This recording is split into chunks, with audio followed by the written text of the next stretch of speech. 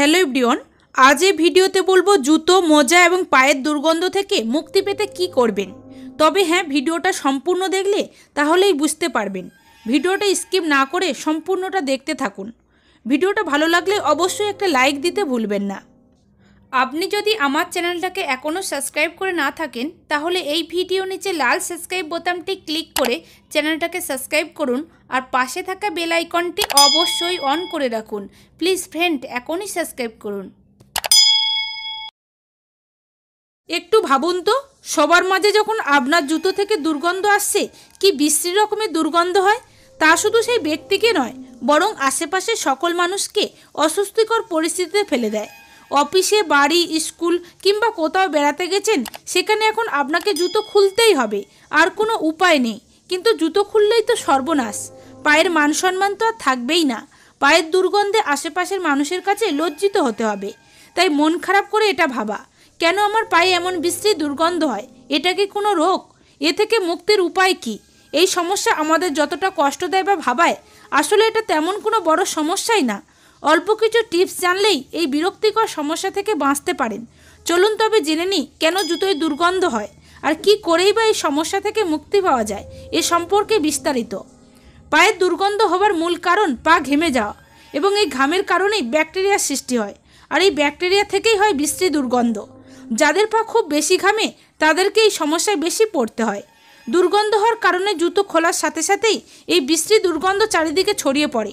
যা নিজের জন্য লজ্জাজনক তো বটেই, অন্যদের জন্য অস্বস্তিকর পরিস্থিতির মধ্যে ফেলে। এই অস্বস্তিকর ও লজ্জাজনক পরিস্থিতি থেকে আমরা চাইলেই খুব সহজে মুক্তি পেতে পারি। ঘরে বসে এবং সম্পূর্ণ ঘরে থাকা কিছু জিনিস ব্যবহার করলেই এর থেকে পরিত্রাণ পাবেন। তো আর দেরি না করে চলুন জেনে নিই কিছু সহজ ঘরোয়া পদ্ধতির কথা, যা থেকে আমরা মুক্তি পেতে পারি এই সমস্যা থেকে। যেমন বেকিং সোডার ব্যবহার। দুর্গন্ধ দূর করতে বেশ কার্যকরী একটি উপায় হচ্ছে বেকিং সোডা। বেকিং সোডার অ্যাসিডিক উপাদান পা পরিষ্কার রাখতে সহায়তা করে এবং পায়ে ব্যাকটেরিয়া জন্মাতে বাধা সৃষ্টি করে। এতে করে পা অতিরিক্ত ঘেমে যাওয়া এবং পায়ে বিশ্রী দুর্গন্ধ হওয়ার সমস্যা থাকে না। পা খুব ভালো করে পরিষ্কার করে হাতে সামান্য বেকিং সোডা নিয়ে পায়ে ভালো করে ঘষে নিন। এর ফলে পায়ে অতিরিক্ত ঘাম হওয়া বন্ধ হবে। তাছাড়া জুতো বা মোজা খুলে রাখার পর কিছুটা বেকিং পাউডার বা বেকিং সোডা ছিটিয়ে সারা রাত রেখে দিন। পরের দিন ব্যবহারের পূর্বে বেকিং সোডা ফেলে দিয়ে তারপর ব্যবহার করুন। অথবা পুরাতন সুতির কাপড় কিংবা মোজার ভিতরে বেকিং সোডা রেখে গিট বেঁধে রেখে দিন সারা রাত। জুতো পরার সময় ওটা সরিয়ে দিন। দেখবেন দুর্গন্ধ আর থাকবে না।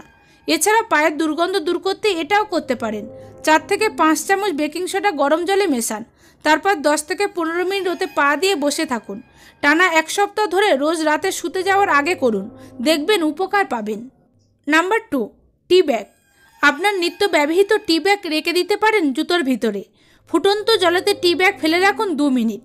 টি ব্যাগ ঠান্ডা হলে জুতোর মধ্যে রেখে দিন। এক ঘণ্টা পর টি ব্যাগ সরিয়ে জুতোর ভিতরের অংশ ভালো করে মুছে নিন। দুর্গন্ধের পাশাপাশি দূর হবে জুতোয় থাকা ব্যাকটেরিয়া। এছাড়া পায়ের দুর্গন্ধ তো ব্ল্যাক টি ব্যবহার করতে পারেন। অবাক হচ্ছেন, পায়ের গন্ধ তাড়াতে চা, এ আবার কেমন উপায়? হ্যাঁ এটাও করতে পারেন। নিশ্চিন্তে ব্ল্যাক টি ব্যবহার করুন। ব্ল্যাক টিতে কিন্তু ট্যানিক অ্যাসিড থাকে, যা আপনার পায়ের ব্যাকটেরিয়াকে ধ্বংস করে, ফলে পায়ে গন্ধ হয় না। আর তাছাড়া ব্ল্যাক টি আপনার পায়ের পরশ বন্ধ করে দেয়, ফলে ঘামও কম হয়। আর ঘাম কম হয় বলে পায়ে গন্ধও কম হয়। তিন কাপ জল ফুটিয়ে ওতে দুটো ব্ল্যাক টি ব্যাগ দিন। এবার ওতে খানিকটা নর্মাল জল মেশান, যাতে জলের তাপমাত্রা ঠিক থাকে। এবার ওতে পনেরো থেকে কুড়ি মিনিট আপনার পা ভিজিয়ে রাখুন, এক মাস করুন। তারপর দেখবেন কি সুন্দর জুতো পরলেও পায়ে কোনো গন্ধই হচ্ছে না। নাম্বার থ্রি কমলা লেবুর খোসা। জুতোর দুর্গন্ধ দূর করতে জুতোর মধ্যে কয়েকটি কমলা লেবুর খোসা সারা রাত রেখে দিন। কমলার খোসা সমস্ত দুর্গন্ধ শুষে নেবে। ব্যবহারের আগে খোসাগুলো ফেলে ব্যবহার করুন। Number four, vinegar. আগে পায়ের দুর্গন্ধ যদি তাড়াতে চান, তাহলে আজ থেকে ভিনেগারকে বন্ধু বানান। ভিনেগার ব্যবহারের ফলে অ্যাসিডিক পরিবেশ তৈরি হয়, ফলে ব্যাকটেরিয়া জন্মাতে পারে না। এর জন্য যে কোনো ভিনেগার ব্যবহার করতে পারেন। তবে সবচেয়ে ভালো কাজ করে অ্যাপেল সাইডার ভিনেগার। আর এর মধ্যে অ্যাসিটিক অ্যাসিড থাকার জন্যই পায়ে যদি ভিনেগার দেন, তাহলে গন্ধের জন্য দায়ী যত রাজ্যের বাজে ব্যাকটেরিয়া সব বাপ বাপ করে পালাবে। যে কোনো ভিনেগার আরামসে ব্যবহার করতে পারেন। হাফ কাপ ভিনেগার, আট কাপ জল গরম করে তাতে ভিনেগার দিয়ে একটা মিশ্রণ তৈরি করুন। এবার ওতে আপনার পা দশ থেকে পনেরো মিনিট ডুবিয়ে রাখুন। এরপর ভালো করে পা সাবান দিয়ে ধুয়ে ফেলুন। দেখবেন পায়ের সব গন্ধ vanish number five fabric softener sheet জুতোর দুর্গন্ধ দূর করার আরও একটি সহজ ও কার্যকর উপায় হচ্ছে ফ্রেবিক সবনাস সিট সারা রাত এক টুকরো ফেব্রিক সবনা সিট জুতোর মধ্যে রেখে দিন। এরপর সিটটি বের করেই জুতোটি ব্যবহার করতে পারবেন। Number six, baby powder. Baby powder শুধুমাত্র বাচ্চাদের ত্বকের যত্নে ব্যবহৃত হয় তাই নয়, তাছাড়াও নানা কাজে ব্যবহৃত হয়। এটি জুতোর দুর্গন্ধ দূর করতেও বেশ কার্যকর। জুতো পায়ে দেওয়ার আগে কিছুটা বেবি পাউডার ছিটিয়ে নিন, তবে এক্ষেত্রে খেয়াল রাখবেন পাউডার যেন বেশি না হয়। নাম্বার সেভেন, লবণ জলের ব্যবহার। লবণ জল পায়ে ভাঙ্গাসের আক্রমণ ঠেকাতে সাহায্য করে। নিয়মিত লবণ জলের ব্যবহারে পা অতিরিক্ত ঘেমে যাওয়ার সমস্যা একেবারে কমে আসে। রোজ বাড়িতে ফিরে সামান্য উষ্ণ গরম জলেতে লবণ মিশিয়ে এতে পা ডুবিয়ে রাখুন অন্তত পনেরো থেকে কুড়ি মিনিট। পা ঘামার সমস্যা দূর হবে। সেই সঙ্গে আপনার পা ছত্রাকের আক্রমণ থেকেও রেহাই পাবে। নাম্বার এইট, ফিটকিরি। ছোটোবেলায় ঘামাচি হলে ফিটকিরি লাগিয়েছেন নিশ্চয়ই, কিন্তু জানেন কি? আপনার পায়ের গন্ধকে যদি তাড়াতে চান, তাহলে ফিটকিরি আপনার মাস্ট ফিটকিরি পাউডার গন্ধ তো দূর করেই, তাছাড়া অ্যান্টিসেপটিক গুণও আছে। যদি আপনার পায়ে থেকে ব্যাকটেরিয়া তাড়াতে চান, তাহলে ফিটকিরি লাগান। এক চামচ ফিটকিরি পাউডার এক কাপ গরম জলে মিশিয়ে, তাতে আপনার পা ধুয়ে ফেলুন। দশ থেকে কুড়ি মিনিট পরে পা শুকিয়ে গেলে এবার পায়ে ফিটকিরিগুলো লাগিয়ে রেখে দিন। দিনে একবার করে রোজ করুন। দেখবেন পায়ার গন্ধই হচ্ছে না। নাম্বার নাইন লবঙ্গ। এক টুকরো কাপড় বা তুলো লবঙ্গ তেলে ভিজিয়ে জুতোর মধ্যে রেখে দিন সারা রাত। জুতোর দুর্গন্ধ দূর হবে। কয়েকটি লবঙ্গ ফেলে রাখলেও উপকার পাবেন। এছাড়া একটি স্প্রে বোতলে সম পরিমাণ সাদা ভিনেগার ও জল মিশিয়ে জুতোর ভিতরে স্প্রে করুন। এরপর বাতাসে শুকিয়ে নিন ভালো করে। গন্ধ দূর হবে। তাহলে আর দেরি না করে এগুলো ট্রাই করুন। দেখবেন হাজার গামবুট পরলেও আপনার পায়ে আর কোনো গন্ধই হচ্ছে না। আর মাঝরাতে পায়ের বটকা গন্ধের জন্য বইয়ের কাছে আপনাকে ধাতানিও খেতে হবে না। জেনে নিলেন তো কীভাবে ঘরোয়া উপায় কিছু সহজ পদ্ধতি ব্যবহার করে সহজেই মুক্তি পাওয়া যায় পা এবং জুতোর দুর্গন্ধ থেকে? তবে আর দেরি কেন? যে কোনো একটি পদ্ধতি ব্যবহার করে নিজেকে মুক্তি দিন এই সমস্যা থেকে। আর একটা কথা না বললেই নয়, পা সবসময় পরিষ্কার পরিচ্ছন্ন রাখুন। যাদের প্রচুর পা ঘামে, তারা পা ধোয়ার সাথে সাথে পা মুছে ফেলুন। হাত পায়ের তালুর ঘাম থেকে মুক্তির উপায় কিছু টিপস জেনে রাখুন। অতিরিক্ত ঘাম কোনো জটিল সমস্যা নয়। সাধারণ একটি সমস্যা। এই অতিরিক্ত ঘাম সাধারণত হাতের তালু, পায়ের পাতা ও বগল থেকে হয়ে থাকে। শুধু গরমকাল নয়, কনকনে শীতেও হাতের তালু ঘামে ভিজে একাকার হয়ে যেতে পারে। অতিরিক্ত দুশ্চিন্তার সময়ও হাত পা ঘামতে পারে। সমস্যা কেবল হাত মেলানোতে সীমাবদ্ধ থাকে না। কম্পিউটারে টাইপ করতে গেলে, কলম নিয়ে কিছু লিখতে গেলে, অথবা প্রয়োজনীয় কোনো কাগজ আপনি ধরেছেন মানেই সেটা আপনার হাতের ঘামে ভিজে খারাপ অবস্থা তৈরি হয়। আবার পায়ের তালু অতিরিক্ত ঘেমে যায়। এই কারণে সৃষ্টি হতে পারে দুর্গন্ধ।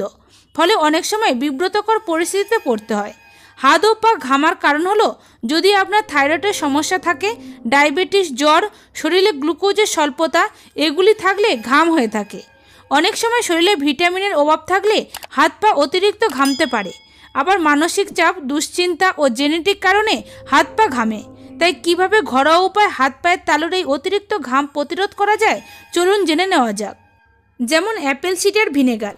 হাত ও পায়ের তালু ঘামা থেকে মুক্তি পাওয়ার অন্যতম কার্যকরী ঘরোয়া সমাধান হলো অ্যাপেল সিডার ভিনেগার। এর প্রাকৃতিক অ্যাস্ট্রিজেন উপাদান ত্বকের লোমকূপ টান টান করে অতিরিক্ত ঘাম নির্গত হওয়া বন্ধ করতে সাহায্য করে এবং শরীরে পিএইচ ভারসাম্য ঠিক রাখে। রাতে ঘুমোতে যাওয়ার আগে আপনার হাত ও পা হালকা গরম জল দিয়ে ধুয়ে নিন। এরপর তুলোয় করে অ্যাপেল সিডার ভিনেগার নিয়ে হাত ও পায়ের তালুতে লাগিয়ে সারা রাত রেখে দিন। এবং স্নানের পর সামান্য বেবি পাউডার লাগিয়ে নিন। তবে মনে রাখবেন, যদি আপনি সংবেদনশীল ত্বকের অধিকারী হন, সেক্ষেত্রে ভিনেগারের সাথে সমপরিমাণ জল মিশিয়ে ব্যবহার করুন। দিনে দুই থেকে তিনবার ব্যবহার করুন। এছাড়াও খালি পেটে কয়েক ফোঁটা মধুর সাথে অ্যাপেল সিডার ভিনেগার খেলেও ভালো ফলাফল পাওয়া যায়। নাম্বার টু গোলাপ জল। হাত পায়ের তালু ঘামা প্রতিরোধে গোলাপ জলের তুলনা হয় না। দোকানে গোলাপ জল কিনতে পাওয়া যায়। অথবা আপনি ঘরে নিজেই গোলাপ জল বানিয়ে নিতে পারেন। কিছু তাজা গোলাপের পাবড়ি এক কাপ জলেতে পনেরো মিনিটের মতো ফুটিয়ে নিন। এবার ছাগনিতে জলটুকু ছেঁকে নিয়ে একটি এয়ারটাইট বোতলে সংরক্ষণ করে তুলোর সাহায্যে জল হাত পায়ের তালুতে ব্যবহার করুন। উপকার পাবেন। নাম্বার থ্রি, লেবুর রস। আরেকটি কার্যকরী ঘরোয়া উপাদান হচ্ছে লেবুর রস। লেবুর রস ব্যবহার করার আরেকটি উপকারিতা হচ্ছে এর দারুণ সুগন্ধ প্রাকৃতিকের কাজ করে। কয়েক ফোঁটা লেবুর রস হাত পায়ের তালুতে লাগিয়ে নিন। যদি আপনার ত্বক সেনসিটিভ হয়, সেক্ষেত্রে লেবুর রসের সাথে সামান্য জল মিশিয়ে নিতে পারেন। লেবুর রসের সাথে সামান্য লবণ মিশিয়ে হাত পায়ের তালুতে ঘষতে থাকুন যতক্ষণ না এটি শুকিয়ে যায়। দেখবেন ঘাম হওয়ার সমস্যা অনেকটাই কমে আসবে। নাম্বার ফোর, টমেটোর রস। টমেটোতে উচ্চমাত্রার সোডিয়াম রয়েছে, যা হাত ও পায়ের তালু শুষ্ক রাখতে সাহায্য করে। টমেটোর রস শরীরের তাপমাত্রা সঠিক রেখে অতিরিক্ত ঘাম প্রতিরোধ করে। তিন থেকে চারটি পাকা টমেটো নিয়ে ভালোভাবে ধুয়ে ব্লান্ডারে জুস বানিয়ে নিন এবং কয়েক সপ্তাহ প্রতিদিন এই জুস পান করুন। তবে বেশি টমেটোর জুস পান করতে যাবেন না। তবে একটা কথা মনে রাখতে হবে, যাদের হাত ঘেমে যাওয়ার সমস্যা রয়েছে, তারা সবসময় সাথে একটা রুমাল রাখুন। ঘাম ভাব হলেই হাত মুছে ফেলুন। এছাড়াও ঠান্ডা জল দিয়ে ঘন ঘন হাত পা ধোয়ার অভ্যাস করতে হবে। হাত ও পায়ে পেট্রোলিয়াম জেলি ব্যবহার থেকে বিরত থাকুন। আশা করি সম্পূর্ণটা বুঝতে পেরেছেন। যদি আপনার হাত পা ঘেমে যাওয়ার সমস্যা থাকে তাহলে এগুলি ব্যবহার করতে পারেন। ধন্যবাদ।